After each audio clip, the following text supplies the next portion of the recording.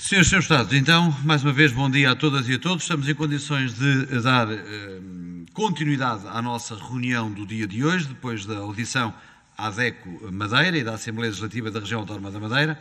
Vamos agora iniciar a audição do Presidente do Conselho de Administração da CP, Comboios de Portugal, acerca dos salários em atraso dos, eh, nos trabalhadores que asseguram a limpeza dos comboios e das estações ferroviárias. Tema este e audição esta, a requerimento do eh, PCP. Queria naturalmente cumprimentar o Sr. Engenheiro Nuno Freitas, Presidente do Conselho de Administração da CP, e o Dr. Boris de Oliveira, que o acompanha nesta audição, adjunto do Diretor Jurídico da CP. Naturalmente cumprimentá-los e dar-lhes as boas-vindas à nossa Comissão Parlamentar, mesmo que digitalmente. Eh, a nossa grelha de tempos prevê uma intervenção inicial eh, da entidade ouvida, neste caso a CP, de 5 minutos, depois uma primeira ronda por cada grupo parlamentar de 7 minutos com, resposta imediata da entidade ouvida, uma segunda ronda de 3 minutos por cada grupo parlamentar, sendo que a resposta da entidade ouvida será no fim eh, de todas as intervenções e com o mesmo tempo eh, usado por cada, pela totalidade dos grupos parlamentares, e uma terceira ronda, se inscrições houver, eh, por cada hum, senhor e senhor deputado inscrito de dois minutos, cabendo resposta final às, à, à, entidade ouvida de 10 eh, minutos. Estão a fazer várias interpelações à mesa, se calhar eh, enganei-me, digam por favor. Cinco minutos. Não. Eu, se me enganei, eu disse cinco, mas talvez me tenha enganado. Bom, então se me enganei, a intervenção inicial é de cinco minutos. Não, não. Ontem nós criámos, não. Vamos lá ver. A grelha que acabei de ler é a grelha uh, regimental. E, portanto, é aquela que se aplica a esta audição. A grelha que aplicámos ontem resultou de um consenso entre os grupos parlamentares, atendendo que havia vários requerimentos e que se aplicássemos e se aplicássemos esta grelha, então a nossa audição de ontem prolongava-se por muitas e muitas horas. Sim, Sr. Deputado, começa o PCP como autor do requerimento. A grelha que está aqui, retirando o erro, onde referi sete minutos para a intervenção inicial eh, e que são apenas cinco, a grelha que está aqui é aquela que decorre do nosso regimento. Portanto, quanto a isso, não, não há dúvida. A grelha de ontem é que foi uma exceção, atendendo aos vários requerimentos em causa. Bom, assim sendo, eh, Sr. Engenheiro Nuno Freitas, eh, cinco minutos para a intervenção inicial, faz favor. Uh, antes de mais, uh, bom dia a todos, Sr. Vice-Presidente, Senhores Deputadas, Senhores Deputados. Portanto, a CP vem a esta audiência, nós estamos disponíveis para responder a todas as perguntas que entenderem. Uh, eu, como sou engenheiro, provavelmente usarei uma linguagem que não é exatamente a linguagem jurídica, mas de qualquer maneira comigo tenho aqui o Dr. Boris Oliveira, que é o, adjunto, o diretor adjunto do Departamento Jurídico da CP, que poderá uh, ajudar em qualquer questão mais uh, de, de, maior detalhe. Uh, nestes cinco, cinco minutos, que, que, que, é muito rápido, eu não gostaria eu, de me alongar muito e de resu, resumidamente, e como introdução a este tema, fazer uma, uma, uma, uma resenha muito rápida sobre, sobre passou, nós tínhamos um, contratos com, com Ambiente e Jardim que estavam a correr bem. Começaram a ter problemas eh, em junho, problemas esses que foram imediatamente resolvidos. Eh, em julho, eh, as contas e créditos da Ambiente e Jardim foram arrestados à ordem de um tribunal. Por essa razão, a empresa deixou de pagar salários, como sabem.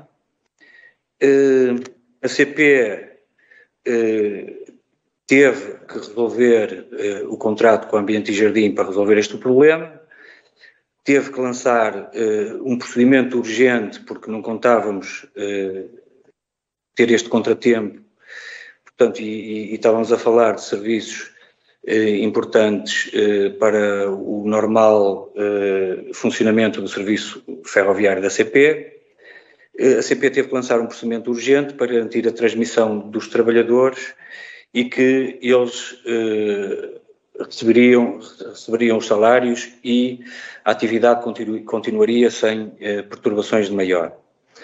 Portanto, isso foi conseguido. Eh, neste momento temos a atividade praticamente normalizada. Eu diria mesmo que, que, que quase totalmente normalizada. E, e, pronto, e nesta fase ficar-me-ia por aqui e, e estamos disponíveis para, para, um, para, para, para, responder tudo o que, que acharem relevante.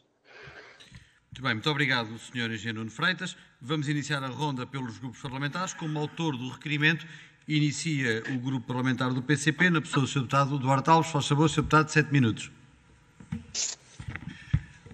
Muito obrigado, Sr. Presidente. Não, queria... desculpa, há, há, aqui uma confusão. Não, aqui não são cinco minutos, aqui são sete. Na intervenção inicial da entidade uh, ouvida é que são cinco minutos. Há pouco se disse sete na intervenção inicial, deveria ter dito cinco. Mas nas intervenções dos grupos parlamentares, a primeira ronda são sete. É o que diz a nossa grelha de tempos. Ok? Sete minutos. Bem, muito obrigado, Sr. Presidente. Queria uh, cumprimentar o Sr. Engenheiro uh, Nuno Freitas uh, e também a equipa que, que, o acompanha. e nós, enfim, pedimos este requerimento a 1 de setembro sobre o tema dos trabalhadores que prestam serviço na eh, na CP e que limpam os comboios da CP.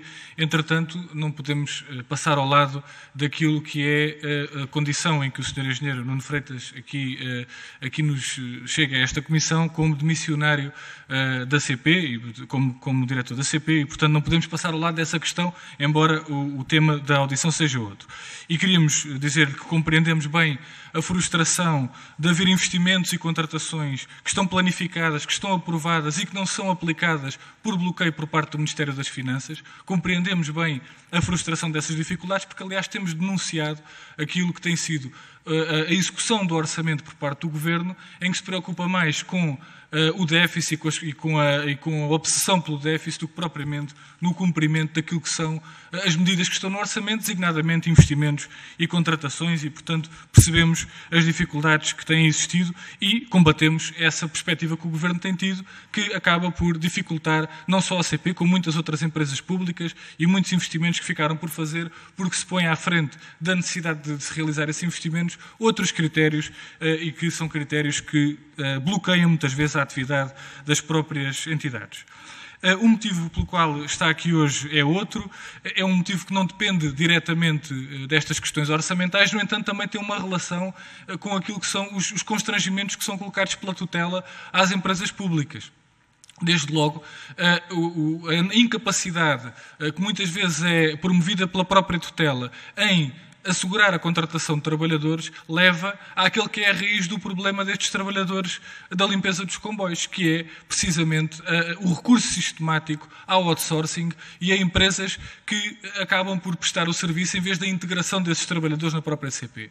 E essa, para nós, é uma questão fundamental e que justifica plenamente, a propósito desta situação dos salários em atraso, questionarmos mais uma vez as razões pela qual estes trabalhadores não são integrados na própria CP. Nós ontem tivemos aqui a audição da Infraestruturas de Portugal, em que foi dito que o serviço de limpeza das estações não era atividade core, não era uma atividade central da, da, da IP na parte ferroviária, o que é estranhíssimo. A limpeza de estações ferroviárias não ser considerada uma atividade central da, da, da entidade que gera as, as, estações ferroviárias. E em relação à ACP, também podemos questionar porque é que estes trabalhadores não são integrados. Uma vez que até as próprias notícias que saíram no dia em que foi convocada a greve mencionavam que os comboios poderiam parar se não fosse feita a limpeza dos comboios.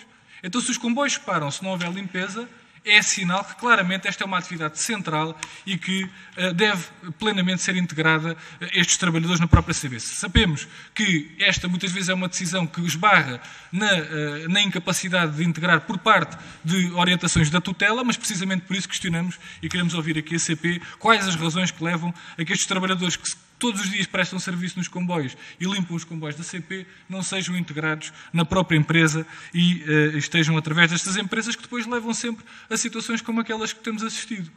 Porque o problema com o Ambiente e Jardim começou ainda em maio, quando começaram os salários a não ser pagos atempadamente, E agora, em julho e agosto, os trabalhadores desta empresa ficaram dois meses sem receber salário. E é preciso, é preciso nós termos noção de que, nesta situação em concreto, em que os salários são baixíssimos, nós estamos a falar de um, de, um drama social que é, que é, gravíssimo. Nós estivemos em contato com os trabalhadores uh, que, que, prestam serviço à ACP e estamos a falar de dramas sociais uh, gravíssimos por não, não verem o seu salário ao fim de dois meses, uh, de estarem a trabalhar e não verem o seu salário ao fim do mês, quando estamos a falar de salários que já de si são muito baixos. E, portanto, nós gostaríamos de questionar como é que a ACP acompanhou esta questão, um, como é que a ACP vai garantir o pagamento destes salários. Nós sabemos que, entretanto, como já referiu na sua intervenção inicial, a ACP já rescindiu o contrato com a Ambiente e Jardim e estes trabalhadores, entretanto, passaram para uma outra empresa, pelo menos aqui na região centro, que se chama Iluso.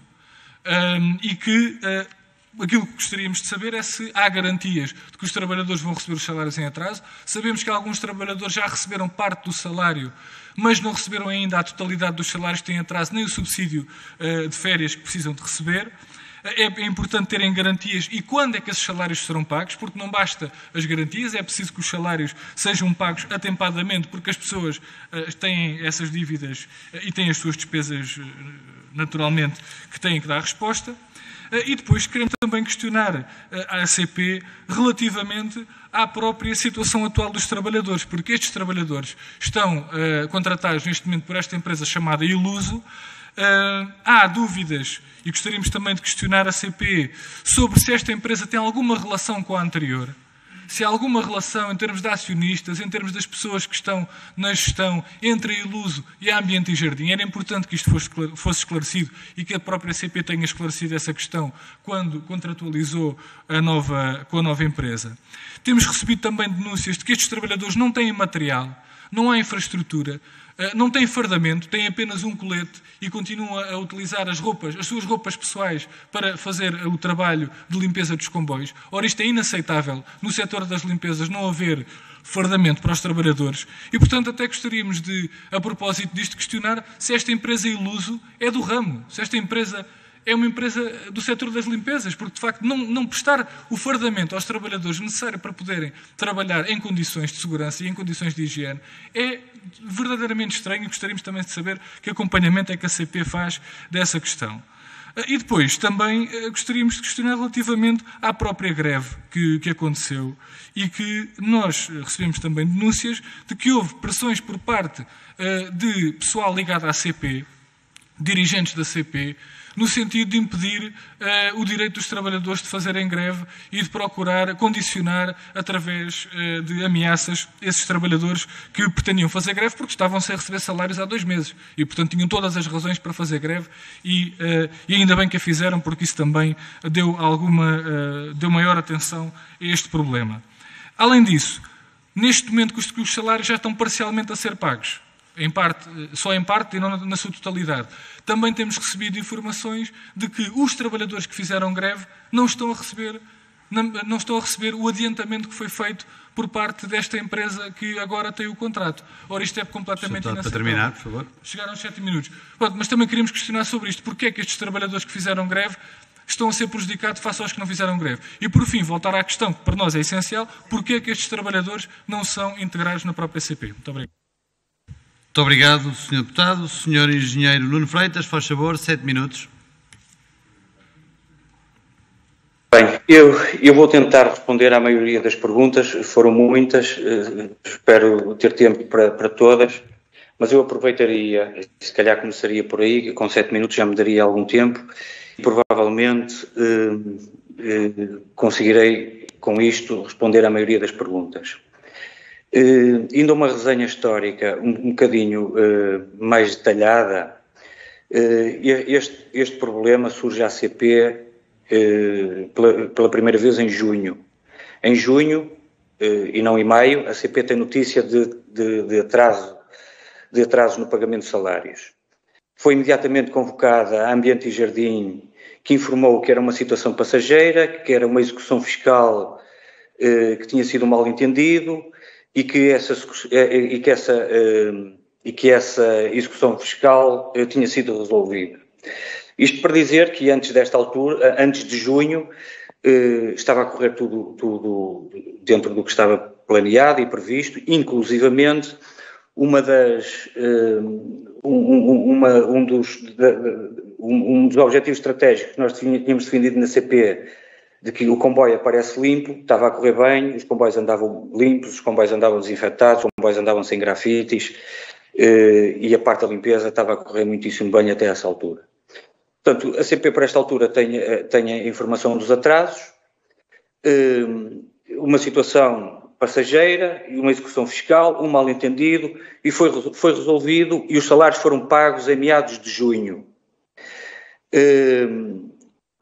A Ambiente e Jardim apresentou as, certidões confirmando que tinha a sua situação tributária e perante a Segurança Social regularizada, a ACP, e a ACP comunicou à, Ambiente e Jardim que a situação não se podia repetir, uh, em primeiro lugar porque é uma ilegalidade, em segundo lugar porque havia é, era um, um incumprimento eh, contratual e o assunto ficou resolvido por aí. Em julho, com tudo resolvido, a CP é notificada pelo Tribunal Central de Instrução Criminal de Lisboa que, na sequência de um pedido do Ministério Público, os créditos da Avenida de Jardim tinham sido arrestados, devendo ser depositados à ordem do Tribunal. A CP eh, tomou a iniciativa e informou o Tribunal que contra... que dos, dos, contratos vigentes e dos créditos contratualmente devidos a ambiente e jardim e que estes seriam devidos desde que prestados os respectivos serviços, como é óbvio. Uh, alerta, que, alertou também na altura o, o, Tribunal que o arresto total dos créditos colocaria em causa o, o, pagamento dos salários pelo ambiente jardim e poderia levar à interrupção de, de, de, dos serviços, como foi dito, do, do, do, do transporte ferroviário. Ambiente Jardim, eh, na altura, informou-nos que requeriu a libertação de verbas para pagamento dos salários em junho, de, de julho. Eh, a CPE tinha também informação da Ambiente e Jardim, nessa altura, de que os pagamentos dos trabalhadores e fornecedores, não só os da CP, mas de todas as outras empresas, para quem trabalharia ou trabalhava naquela altura Ambiente e Jardim, eh, estavam assegurados para dois meses. Ou seja, que a Ambiente Jardim teria tesouraria para assegurar eh, eh, estes dois meses, os pagamentos durante estes dois meses. No fim de julho, a CP foi surpreendida com o pagamento dos não, do, do, do, do não pagamento dos salários. Portanto, em, em agosto, a Ambiente e Jardim informou a CP que o tal requerimento que tinha feito ao Tribunal é deferido e os salários iam, iriam ser pagos, mas acontece que o Ministério Público recorre para o Tribunal da Relação de Lisboa, decisão que ainda se aguarda nesta altura, e eh, a Ambiente e Jardim não consegue eh, pagar os salários. Portanto, a Ambiente e Jardim a seguir comunica à CP que a situação que a CP, a CP, na altura comunica à Ambiente e Jardim que a situação, se a situação não for resolvida e os salários pagos, procederá à resolução dos contratos. Entretanto, a CP pede autorização tutelar para a despesa, eh, para a despesa, para a contratação de outras empresas, começa a trabalhar numa alternativa, porque teria que começar imediatamente a trabalhar numa alternativa, uma vez que, que havia, havia risco nesta situação, eh, precisamente para, para fazer uma, uma, uma, contratação ao abrigo do CCP de urgência imperiosa, com, com eh, com um prazo eh, em que encurta fortemente o prazo necessário para um, para um, novo, para um novo procedimento. A, CP fez, antecipou-se logo a estas situações todas, começou a fazer consultas preliminares ao mercado para garantir que o preço base seria suficiente para que, para que a consulta não ficasse eh, deserta, porque é, porque é, é porque seria alonga, alongaria este período e, e, e teria consequências relevantes. Eh, entretanto, o, o, sindicato que representa estes trabalhadores emitiu um pré-aviso de greve, eh, a situação não foi resolvida e mesmo no final de agosto, no, salvo erro no dia 30 de agosto, chegou a autorização tutelar para o compromisso plurianual para, para a CP poder realizar a despesa. A CP eh, eh, efetuou a resolução destes contratos com Ambiente e Jardim, eh, fez a consulta prévia e adjudicou o serviço em dois dias, acabando com a greve e, e, e, fazendo a, a, transmissão dos, do, dos, trabalhadores para, para, a nova empresa. Portanto, isto são coisas, quando, quando, quando, quando portanto, estamos a falar há um mês, ainda, ainda não passou um mês sobre, sobre este período, são, eh, estas mudanças levam sempre tempo a organizar, mas a informação que eu tenho neste momento é que esta, a, situação está, está, está, está a ficar estabilizada. Inclusivamente a CP, atendendo à dificuldade dos trabalhadores, Ehm, organizou ou arranjou vouchers de transporte para vários trabalhadores, precisamente para minimizar um, ehm, o impacto que, que, eh, que, esta situação poderia ter na, vida dos trabalhadores e falou com as novas empresas para, para, para pedir, para solicitar se poderiam antecipar o pagamento dos salários de setembro enquanto não se resolvia uh, as situações anteriores, coisa que nós sabemos que, pelo menos parcialmente, está a acontecer, pelo menos nos casos mais críticos.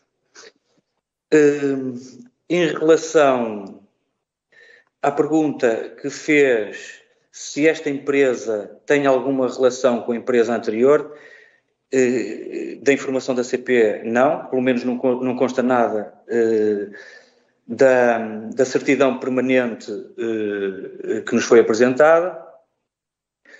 Quanto à, à greve, eh, desconheço totalmente essa pressão. Aliás, a, CP é, é, uma empresa eh, que lida frequentemente com situações de greve e que eu saiba, eh, há sempre situações pontuais que naturalmente podem acontecer em, em empresas com, com, eh, com 4 mil trabalhadores ou cerca de 4 mil trabalhadores eu, eu não vou negar que, que, não possa ter acontecido uma coisa, uma, uma situação pontual qualquer que não, que não passe disso, não é? Agora, que seja conhecimento eh, do Conselho de Administração ou que seja meu conhecimento, não tenho conhecimento de nenhuma, nenhuma irregularidade. Aliás, penso eu que é, é, é, irregularidades desse tipo estão protegidas pela lei, portanto, eh, do, tenho dúvidas que alguém se aventura, eh, que se pudesse aventurar por, por caminhos dessa natureza. Quanto, quanto à ingressão destes trabalhadores nos quadros da empresa, eu, eu diria que, que, essa é uma questão de opção de gestão. Há empresas que funcionam bem com subcontratação deste tipo de serviços, há empresas que funcionam, funcionam bem com estes serviços integrados quando nós chegámos à CP, eh, é, esta não era, um, não, era uma, não era um problema que nós tínhamos. Aliás, uma vez que estamos a falar de pessoas, praticamente todos os problemas que nós temos na CP envolvem pessoas, portanto, eh, tanto trabalhadores da ambiente de jardim como trabalhadores da CP, portanto, toda, toda, todas estas questões envolvem sempre pessoas. Eh, portanto, como eu estava a dizer, há empresas que funcionam bem com, subcontratação, há empresas que funcionam bem com os serviços integrados essa era uma questão que não era um problema quando chegámos à CP, também como eu comecei a dizer, o, estava tudo a correr bem. Por favor, já passou o tempo. Pronto. Uh, Mas vai ter mais uh, então, só... Ok, sim senhor, então, faz favor. Muito obrigado, senhor engenheiro Nuno Freitas. Cabe agora a vez ao grupo parlamentar do PSD, na pessoa do Sr. Deputado Carlos Silva, julgo eu. Faz favor, Sr. Deputado. Muito obrigado. Saúde a todos os colegas, saúde os senhores, o Sr. Presidente da CP, uh, eh, Engenheiro Nuno Freitas. Uh, e começo exatamente por aqui. Eu penso que durante o seu mandato enquanto Presidente da CP não houve oportunidade, portanto também tivemos em pandemia, de pessoalmente estar connosco no Parlamento. Uh, Faço-lhe aqui essa saudação, mas também sabendo nós que está de saída Lamentavelmente não vamos ter a oportunidade de, de o ter por cá mais vezes para debater este tema da ferrovia com toda a profundidade. Uh, e, portanto, saudá-lo pelo seu mandato. Penso que foi um mandato uh, com muito trabalho. Uh, houve dinâmicas próprias na CP que evoluíram no sentido positivo, ao nível, por exemplo, das oficinas de manutenção, temos que reconhecer isso, portanto, fica aqui o nosso, o nosso reparo positivo a essa evolução. No entanto, enquanto uh, presidente de uma estrutura que pretende servir a mobilidade dos cidadãos, uh, houve falhas que continuaram a subsistir e provavelmente não teve tempo para colmatar e nessa circunstância, portanto, é uh, lamentável, diria, que não possa continuar no cargo. registro com alguma surpresa que para quem tem grandes dificuldades em adquirir rodas para os comboios, conseguiu, num espaço de tempo, diria, recorde, eh, montar um concurso público, não foi um concurso público, um ajuste direto para a contratação de todos os trabalhadores eh, que fazem a manutenção, tratam da higiene e da salubridade daquilo que são uh, os equipamentos da CP eh, na sua globalidade. E, portanto, uh, uma primeira nota que eu gostaria de deixar é de qual foi a dimensão deste contrato. Quanto, eu sei que é um contrato por um ano, uh, quanto é que este contrato importa para compararmos, de alguma forma, este, este contrato com as dificuldades de aquisição de rodas que o Sr. Ministro Pedro Nuno Santos ontem referiu ao país, que, ao que parece, estavam impedidas de ser compradas pelo uh, congénero das Finanças, Ministro uh, Leão. Uh, e, portanto, esta era uma nota, era uma nota importante do contrato. Indo diretamente ao tema da, diria, da substituição da empresa, porque é o que está em cima da mesa. Neste momento já não estão as questões laborais, essas estão defendidas por lei. Eh, esta mudança de empresa no tratamento destas, destas instalações e dos equipamentos, de, dos comboios, eh, eu pergunto se no novo contrato de serviço se foram verificadas com alguma, com alguma cuidado a questão das frequências. O Sr. Engenheiro disse há pouco que durante os últimos tempos não teria havido problemas. Obviamente, estivemos em pandemia, os comboios estavam parados, aqueles que circulavam, circulavam com limitações, portanto é natural que no último ano não tivesse havido grandes problemas de higiene e salubridade. Mas eu não deixo de realçar que até a pandemia os comboios circulavam que era uma desgraça. Ou seja, eu recordo-me de ir para o Porto no Alfa e não se poder entrar na casa de banho porque ela não tinha sido eh, mantida eh, da viagem anterior que o Alfa tinha feito. Uh, o lixo era mais do que muito. Uh, eu sei bem que as estações não têm que ver com, convosco, têm que ver com a IP. No entanto, há uma nota que eu não queria deixar de, de, de contribuir para a reflexão, é até que ponto o facto de muitas das estações as respectivos, eh, as respectivas casas de WC, as casas de banho, serem eh, protejadas. Eu recordo-me que em Campanhã, alguém que chega para ir com algum tempo de antecedência para eh, tomar o comboio, ou em Santa Apolónia, tem que ter uma moeda de um euro, porque se não tiver um euro ou 50 cêntimos, não pode dirigir-se à casa de banho. Isso naturalmente cria pressão sobre o comboio, e, naturalmente, cria também pressão sobre eh, os, os, cafés das redondezas. E, portanto, bem sabemos, não sei até que ponto isso pode ser discutido com a, com a IP, de forma a contribuir. O, o, o, Presidente da IP esteve cá ontem, eu passou-me, não lhe coloquei esta questão. Mas eu, eu ia diretamente ao assunto, portanto, da questão. Eu pergunto-se até que ponto neste novo contrato melhoraram a frequência de limpezas, até que ponto melhoraram também os níveis de serviço que estas empresas devem apresentar. Era, era, no essencial, isto relativamente ao novo contrato. Quanto, e para terminar, que já vou longo, um, ehm, quanto à proteção dos salários uh, e, e, dos subsídios de férias que estavam em atraso. Ou seja, a CP foi expedita em arranjar uma solução que terminou com a greve e agora uh, respalda-se na, nas entidades oficiais relativamente ao ressarcimento desses salários que estão em atraso e desses subsídios de férias. É, é evidente que ah, para famílias é, que, cujo rendimento não é muito, isto é um fator muito importante. Ainda para mais, algumas delas tiveram alguns meses sem receber. E, portanto, não sei até que ponto, até por uma questão de um, empenhamento das próprias pessoas, de mobilização das próprias pessoas, até que ponto a CP não poderá contribuir para uma resolução mais uh, acelerada desta situação. Portanto, é uma nota que lhe deixo. E depois pergunto, para terminar mesmo, se foi feita alguma denúncia à CT, se já têm conhecimento de algum relatório, porque este tema, nestas situações, apesar de, como disse há pouco, eles, este setor está protegido por lei, porque na mudança do estabelecimento os trabalhadores são transferidos por, por seu direito para a empresa que retoma esse contrato, acontece é que sabemos que existem sempre dificuldades acrescidas e, portanto, a ACT tem aqui um papel fundamental.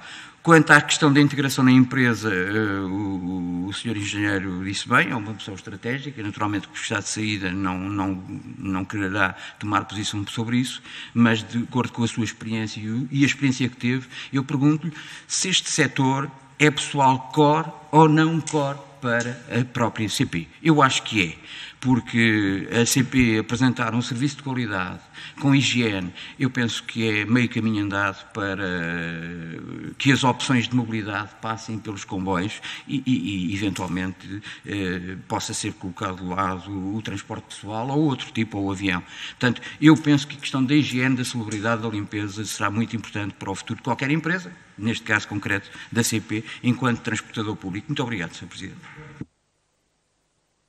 Muito obrigado, Sr. Deputado. Eh, Sr. Engenheiro Nuno Freitas, faz favor, sete minutos.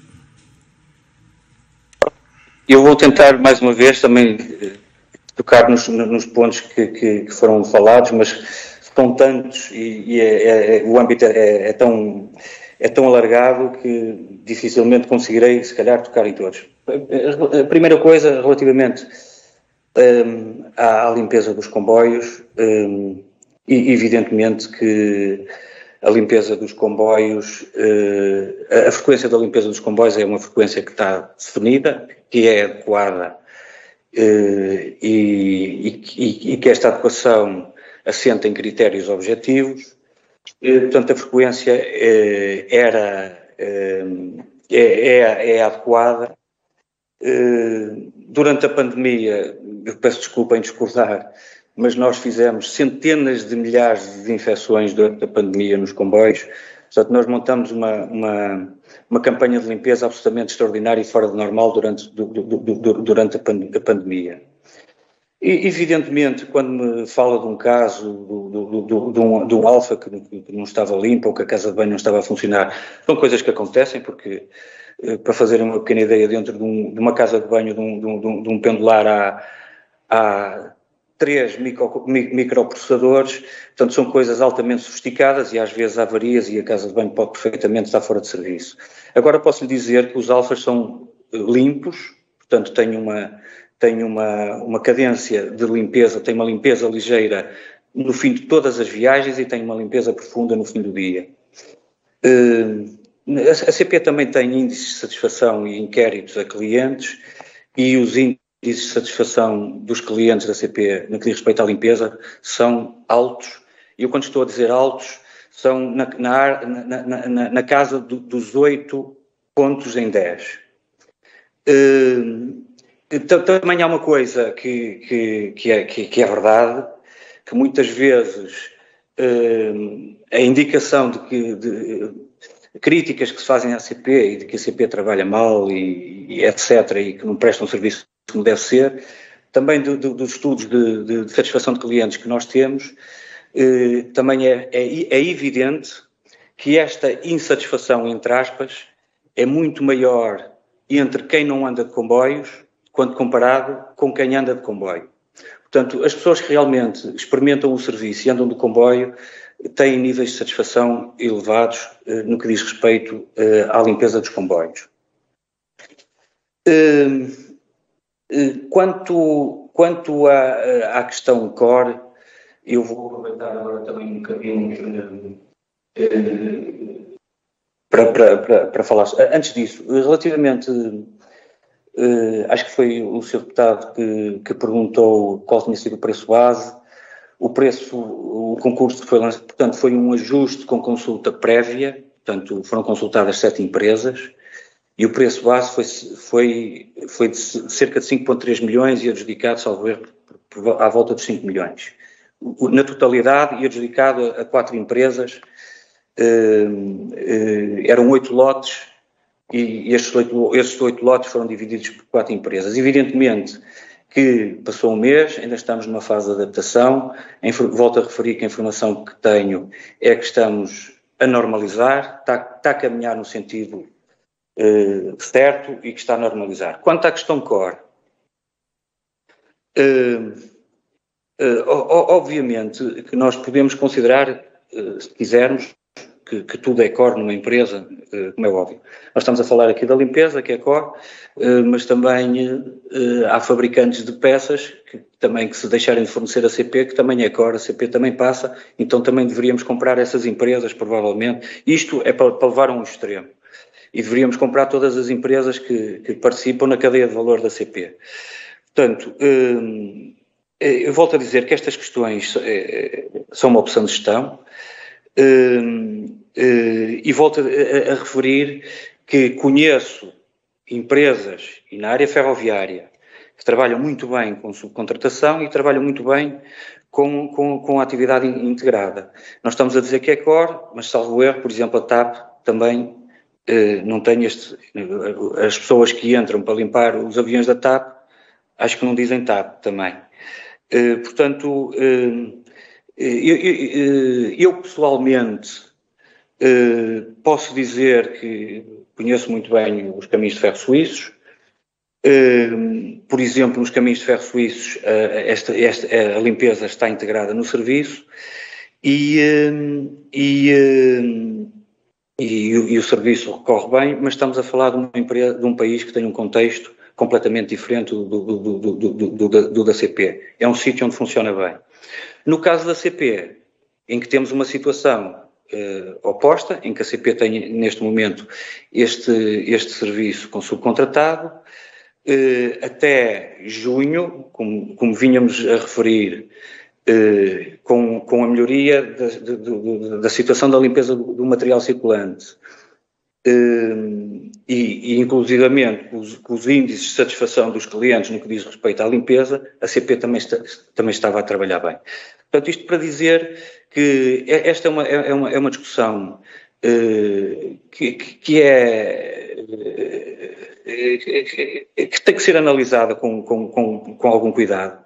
Não penso que se possa discutir assim aqui em sete minutos ou em duas horas ou três horas se faz sentido integrar, se não faz sentido integrar. É preciso, é preciso perceber o contexto, é preciso perceber uh, a envolvente toda da CP, e, eh, como eu disse, quando este Conselho de Administração chegou, esse não era um problema, tínhamos outros problemas, portanto, eh, eh, devo, devo confessar que nem refleti sobre esse problema, estava a funcionar bem, continuamos a funcionar como estava.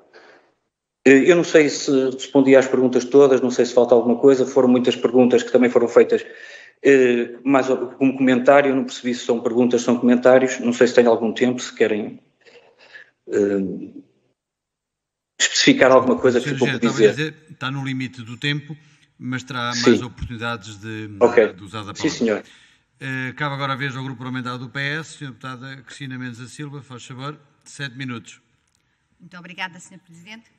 Cumprimento os meus colegas aqui presentes e cumprimento de uma forma especial o Engenheiro Nuno Freitas, Presidente do Conselho de Administração da CP, e o Dr. Boris de Oliveira, Adjunto Diretor Jurídico da CP. Eh, desde já, eh, dar-lhes parabéns pelo mandato e desejar boa sorte para, para o seu futuro. E focava-me no tema que nos traz aqui hoje esta audição.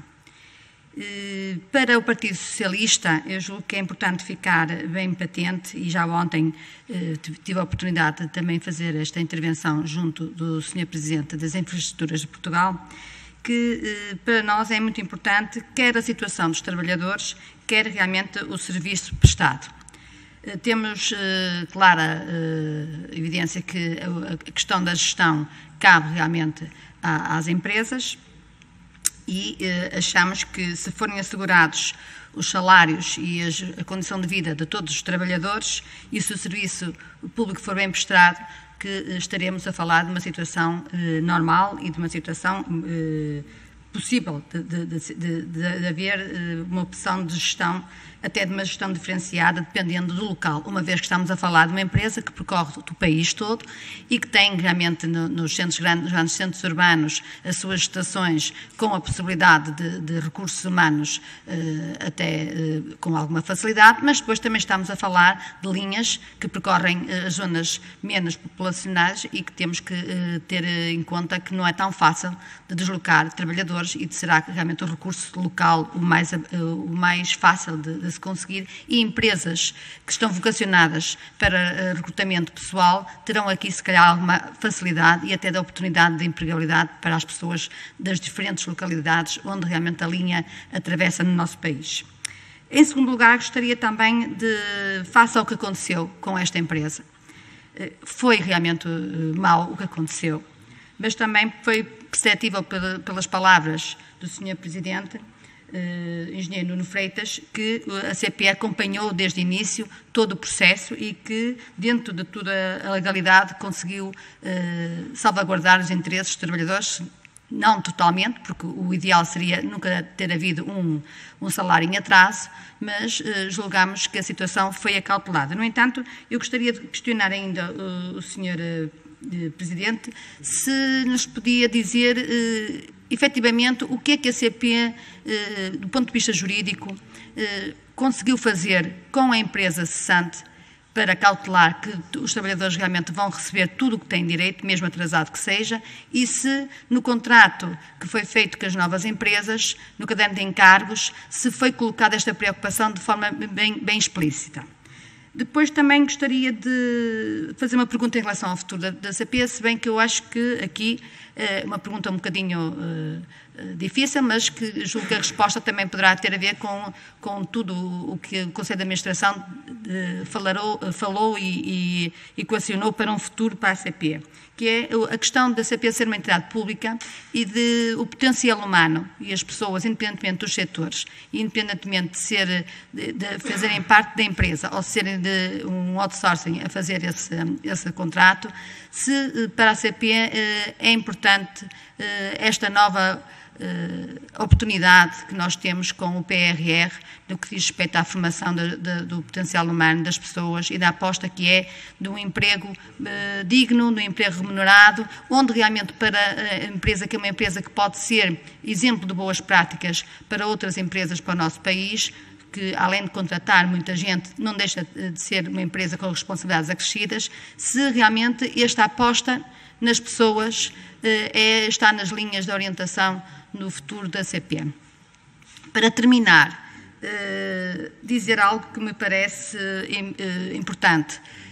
A questão de ser outsourcing ou não ser outsourcing é uma falsa questão. Porque, independentemente das empresas serem privadas ou públicas, eu acho que, para o Partido Socialista, é importante que todas as entidades patronais tratem bem os seus trabalhadores. E, por isso, para nós, o quadro legal teria que realmente tem que funcionar e, eh, à partida, não podemos responsabilizar uma empresa pelo, pelo, pelas coisas más que acontecem quando outros empresários não fazem aquilo que está eh, previsto na, na, lei e na Constituição eh, do nosso país, que, sendo um país eh, em plena democracia, eh, julgamos que todos devem cumprir.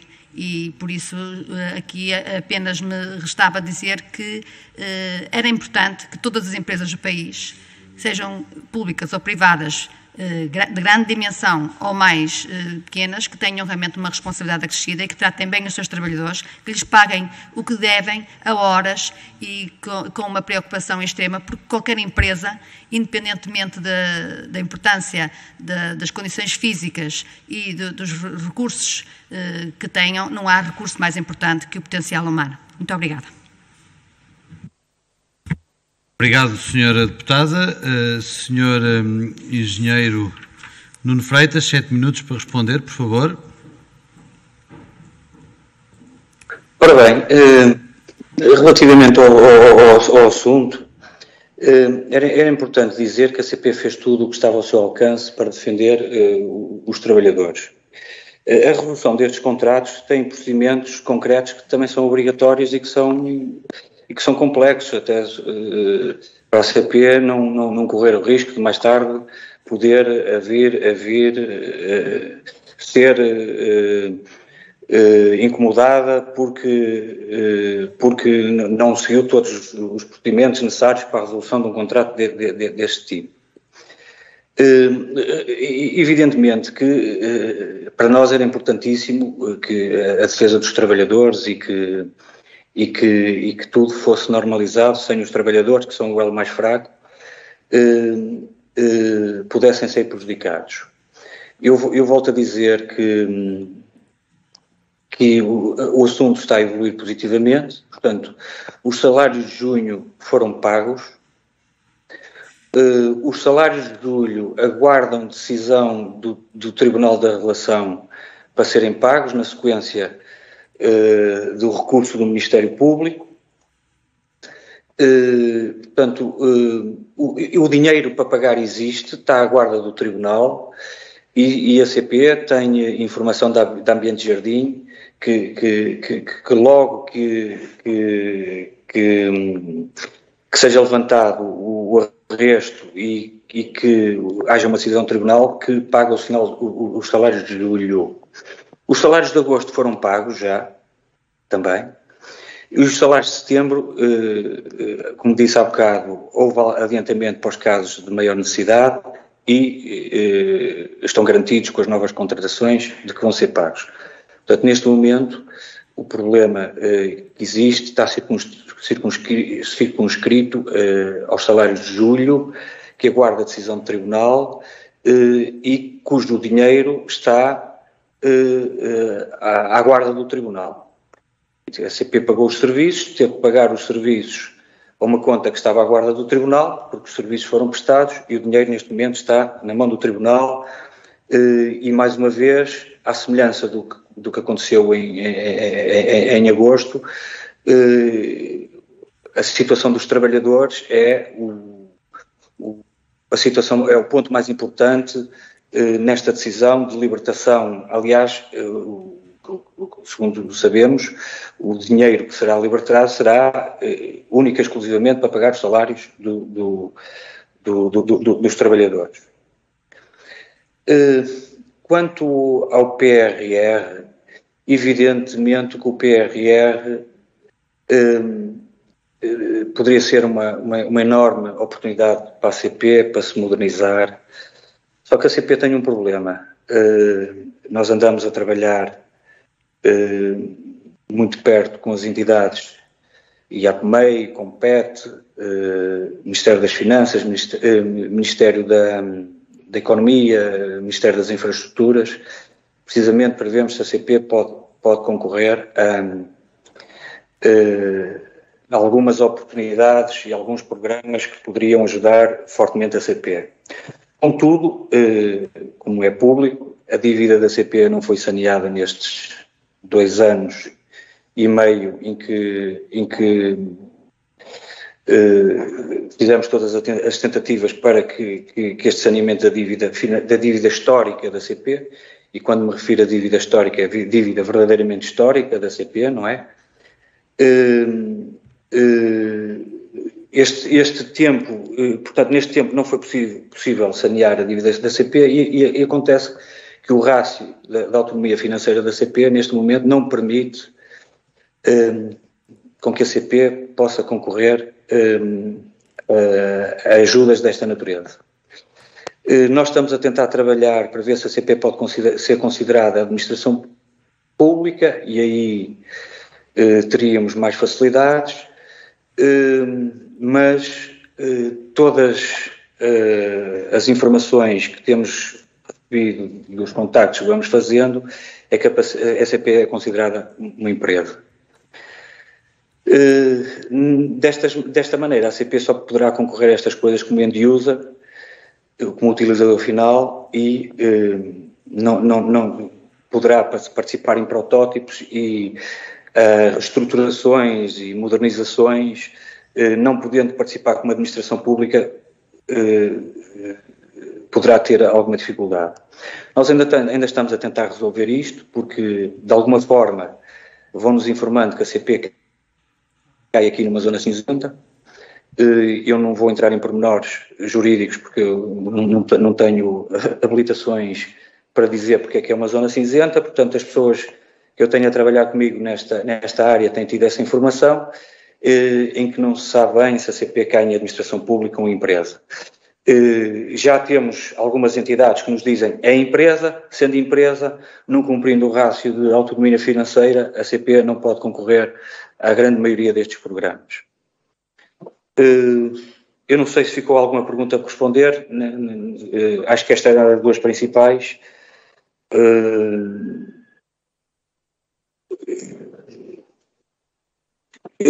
Quanto, também ainda quanto à proteção dos trabalhadores, Caso, hum, no caso de haver algum problema com este, com este valor de julho, que neste momento está a aguardar a decisão do Tribunal e que está à guarda do Tribunal, hum, poderemos dizer que, podemos dizer também que a nova entidade também tem responsabilidade sobre os salários em atraso e a lei tem mecanismos próprios para resolver esses problemas e estas responsabilidades.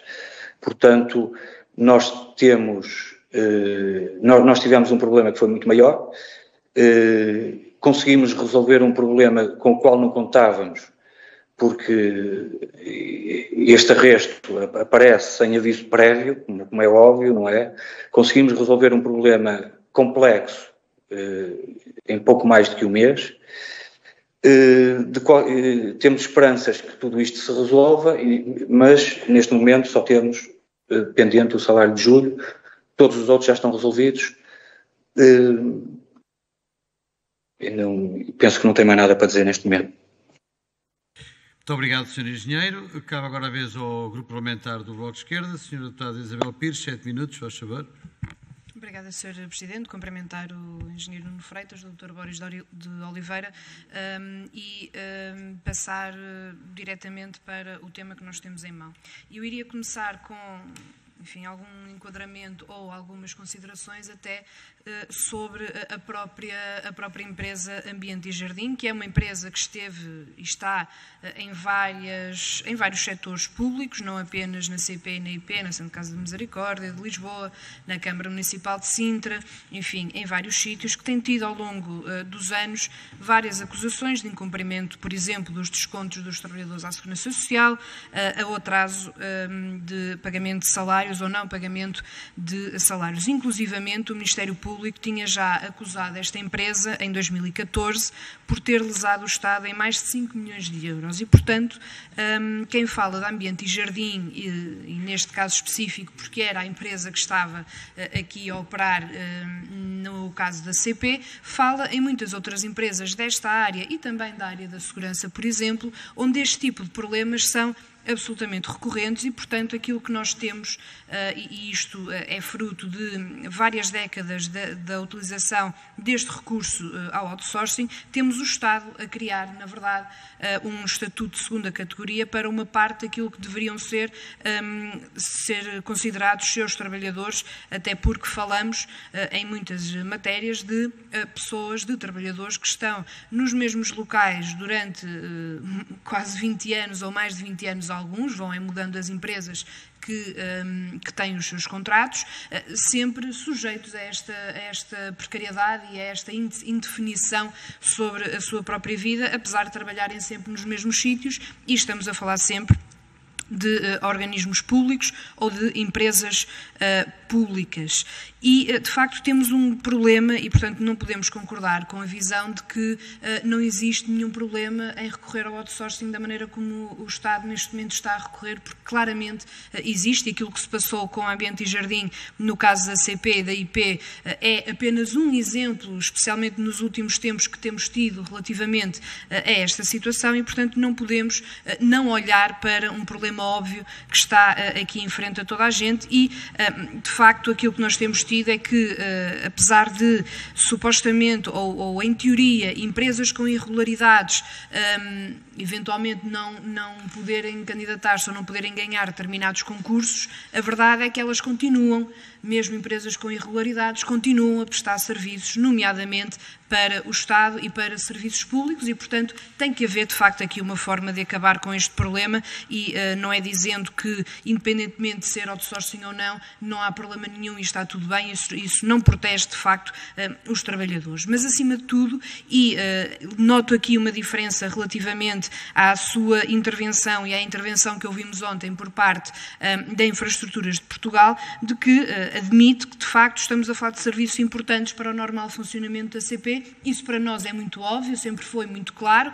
Aparentemente, para, para, para a Infraestruturas de Portugal não era bem assim, mas para, para o, o Sr. Engenheiro Nuno Freitas é, e ainda bem, porque de facto tivemos aqui uma situação em que os comboios poderiam ter parado caso não se tivesse resolvido este problema, o que nos dá logo aqui um indicador de que talvez estes trabalhadores não devessem estar em regime de um, outsourcing. E, portanto, aquilo que um, nós queríamos perguntar, além destes, na verdade, considerando e a, a, posição que o Bloco de Esquerda tem sobre este caso foi bastante conhecida, fizemos perguntas uh, ao Governo ao longo deste processo, porque consideramos que, de facto, um, tendo esta situação começada em maio e neste momento, apesar da mudança de empresa e da transmissão dos trabalhadores, Há trabalhadores que continuam sem receber uh, aquilo que não lhes foi pago durante os dois últimos meses, subsídios de férias, uns receberam, outros não receberam, valores diferentes, uh, e portanto existe aqui uma, uma situação que tem que ser acautelada e a pergunta que fica também, porque creio que uh, ainda não um, ehm, tomou este esclarecimento, para percebermos se há alguma diferença entre o, entre o que foi feito na IP e o que foi feito na CP, se um, ehm, foi assegurado neste novo concurso que os, os créditos créditos vencidos e, portanto, aquilo que, que é devido aos trabalhadores está acautelado para ser pago e se sabem ou se, um, ou se contemplaram neste próprio contrato quando é que uh, esses valores serão pagos uh, aos trabalhadores e às trabalhadoras. Uh, referiu que foi feito o pedido para antecipar o pagamento do salário de setembro, mas uh, faltam os restantes que estão em atraso e, portanto, perguntar se por parte da CP houve aqui alguma indicação às novas empresas para, num prazo limite, uh, estes valores serem pagos e quando uh, é que eles serão pagos. E, um, ehm, voltando ao, ao, considerando inicial, perguntar também, um, ehm, até considerando algumas, algumas matérias que disse que, de facto, consideram que estes são serviços muito importantes para o normal funcionamento da CP, se consideram que eh, há a possibilidade ou não de haver aqui uma alteração estrutural de fundo sobre a forma como se olha para este tipo de serviços que são fundamentais para o normal funcionamento da CP. Isso para nós é que seria extremamente importante. Aliás, eh, temos feito, temos batalhado muito para que esta, esta lógica de outsourcing que eh, é completamente bizarra, especialmente quando nós falamos de serviços públicos, tenha o seu fim. Sabemos que, inclusivamente, o Governo Governo não quer terminar com esta lógica que prejudica um, os trabalhadores, mas perguntar se existe aqui alguma ideia por parte da CP de formas de, um, de facto, podermos começar a olhar para estes serviços essenciais ao funcionamento um, da empresa e, portanto, uh, ao, ao, seu, ao seu trabalho central, hum, se de facto existe o equacionar de uh, ultrapassar esta, este recurso ao outsourcing e podemos passar a ter, de facto, estes trabalhadores porque muitos deles, em algumas, em algumas estações onde nós também estivemos presentes, eh, estavam na mesma estação de comboios há pelo menos 10 anos e, portanto, não tem sentido que eh, não, não sejam trabalhadores de uma empresa para a qual, na verdade, sempre trabalharam e, portanto, essa é que é eh, a grande questão, além da garantia de que aquilo que está devido aos trabalhadores estará pago o mais rapidamente possível e de que uh, haverá aqui uma segurança para o futuro da situação dos mesmos. Obrigada, Sr. Presidente. Muito obrigado, Sra. Deputada. Uh, Sr. Engenheiro Nuno Freitas, sete minutos. Bem, das notas que eu tomei, portanto, uh, relativamente a, a, empresas, a estas irregularidades destas empresas e, e, e irem concorrendo, então, nós estamos completamente de acordo. Portanto, nós eh, censuramos eh, fortemente eh, todas estas irregularidades que, que, acontecem. Infelizmente, nós temos que, que cumprir um contrato, um, um, código de contratação pública. Este código de contratação pública é, é, é cego, muitas vezes, e, e, nós sabemos que temos empresas que, que vão que, que, vão, que se vão mantendo no, no, no mercado, em que vão mudando de, de, de, nome e depois aparecem como uma empresa nova e a CP, como é óbvio, não pode, não tem condições, não é uma entidade policial eh, tem que seguir as regras de, da contratação pública, porque a seguir, se não as segue, o concurso é impugnado e, e, por aí fora. Portanto, não cabe à CP andar a escrutinar estas ilegalidades. O que acontece é que todos os contratos estão sujeitos à apresentação de documentos de habilitação eh, da empresa para executarem o trabalho eh, de, de, acordo com o que vem no, no, no Código de Atuação Pública, nomeadamente uh, se tem a situação com a, com a, segurança social regularizada, se tem a situação com as finanças regularizada, etc. E a partir do momento em que esses documentos são apresentados à CP, a CP não tem outra alternativa senão aceitá-los e considerá-los nas avaliações que faz, uh, sob pena de, de impugnações, de processos, etc., etc. Portanto, quanto às irregularidades, estamos completamente de acordo, é realmente difícil eh, com, com este, este, regime de contratação. Eu posso, posso dizer que se não existisse esse regime de contratação e se fosse numa empresa com, outra, com uma autonomia completamente diferente, não, quero, não estou a dizer que, que, que, que critico o, regime, o, o, Código de Contratação Pública em todas as suas, em todas as suas vertentes, mas se nós se, se, se, desconfiamos que há ali qualquer situação realmente é uma situação de irregularidade, apesar, ou que, ou que é um contrato que, que, nos, que nos vai correr mal, eh, eh, eh, podemos, poderíamos perfeitamente optar, não, este fornecedor não serve, aliás nós em muitas situações podemos fazer isso porque temos avaliações de fornecedores e pomos os fornecedores de parte, Uh, uh, imediatamente, quando temos razões para, ter os para pôr os fornecedores de parte, quando o fornecedor nos aparece completamente novo. Eh, com, com, com, uma fachada completamente nova. Eh, a CP não tem outra, alternativa. Nós temos esta situação, não é só na limpeza, é em muitas situações em que nós, do ponto de vista técnico, eh, queremos comprar um motor para um veículo e sabemos qual é o motor que nos vai dar problemas ao longo de 30 anos de, de, do seu funcionamento e, e, temos que lançar um concurso e muitas vezes acabamos de ficar com um motor pior que o velho. Uh, uh, quanto quanto a, ao facto disto, disto, ser um serviço indispensável, cl claro que sim, este serviço é um serviço indispensável para o funcionamento da CP como são outro. Uh, mas a pergunta é qual é o limite que podemos fazer ali, aqui, qual é o limite para o outsourcing? se este é realmente um serviço que deve ser internalizado. Como eu disse, conheço empresas onde este serviço está internalizado e funciona bem. Também, também conheço isso, em contextos completamente diferentes do nosso. Uh, uh, e isso é uma situação que a, que a CP tem vindo a equacionar, como é óbvio. E a prova disso é que este Conselho de Administração integrou a EMF na CP todas as empresas, e, pronto, e aqui entramos numa situação em que nós temos que perceber quais são as urgências, o que é que é mais urgente. E acho que todos acordamos que a CP dominar completamente a sua área de manutenção eh, é, é, é absolutamente fundamental e, e, começamos por essa integração da EMF na CP. Não é preciso ir muito longe. Todas as empresas de caminho de ferro que estão no longo prazo controlam de forma eh, eh, absolutamente completa a área, a, área, a área de manutenção. E ainda e não precisamos ir mais longe, vamos à Fertagos e a Fertagos integrou ou integra completamente a, a sua área de manutenção e a Medway, que agora eh, iniciou um serviço de mercadorias, integra a, a, a, sua área de manutenção e está a desenvolver e, e a internalizar e integrar verticalmente a área da manutenção na sua atividade. E, e a CP eh, fez exatamente a mesma coisa. Portanto, isto para dizer que isto é efetivamente uma discussão que, que é importante, é uma, opção, é, é, é, é uma discussão que, que, que, não se pode fazer também de forma leviana e tem que se perceber, e, e precisa da sua maturação, tem que se perceber eh, se realmente há ganhos de eficiência, eh, se há ganhos de, de qualidade no serviço, tendo a empresa eh, integrada na CP ou tendo a empresa a trabalhar fora da CP, porque há muitas, há muitas empresas eh, eh, multinacionais de limpeza eh, que funcionam muitíssimo bem.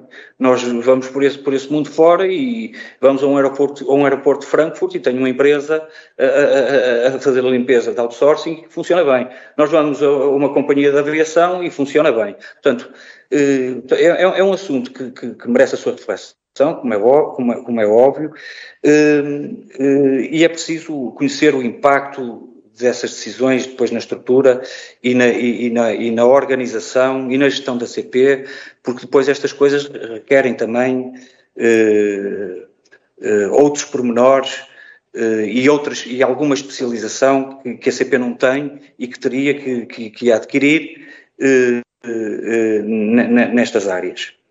Eh, mas em todo o caso, eh, a CP, como qualquer empresa, tem acionistas, não é? E a última palavra é sempre dos acionistas relativamente a estes pontos. De qualquer maneira, aquilo que eu gostaria de dizer, acionistas, que neste caso, o acionista da CP é o Estado.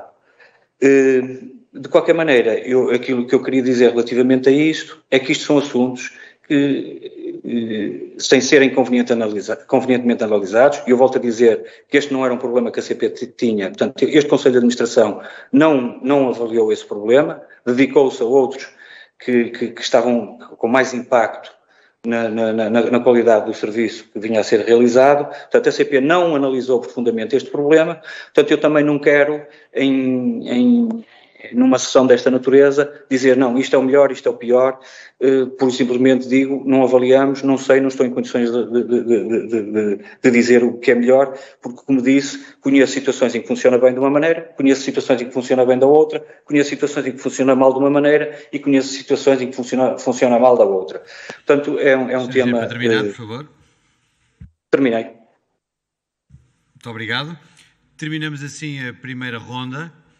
Eh, não tenho inscrições para a segunda, pelo que uh, julgo que terminamos então a audição ao Sr. Presidente da, ao Sr. Presidente do Conselho de Administração da CP. Sr. Engenheiro Nuno Freitas, bem como o Dr. Boris de Oliveira, queria naturalmente agradecer em nome de todos nós esta presença, mesmo que digital, e naturalmente os contributos e os esclarecimentos que nos trouxeram. Muito obrigado e bom trabalho. Senhores. Estados. Muito obrigado muito e bom obrigado. dia. Bom e boa tarde a todos. Obrigado e bom dia. Bom trabalho. Senhoras e senhores Estados, nós seguimos já de seguida com a nossa reunião ordinária, que está marcada para as 13.